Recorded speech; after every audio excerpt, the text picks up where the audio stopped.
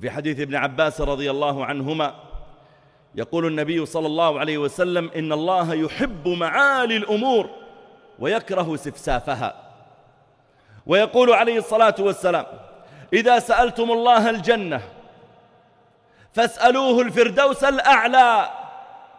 لا تقل أدخلني الجنة فقط لا اجعل همتك عالية فالجنة درجات. علق قلبك بالدرجة العالية. قال فاسألوه الفردوس الأعلى.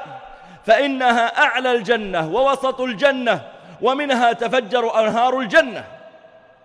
وكان صلى الله عليه وسلم يحذر من الهمة الدنيئة.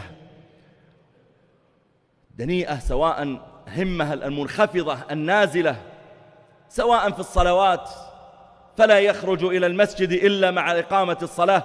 لو أن همته عالية لا نفض يده من شغله مع الأذان وخرج إلى المسجد مع الأذان.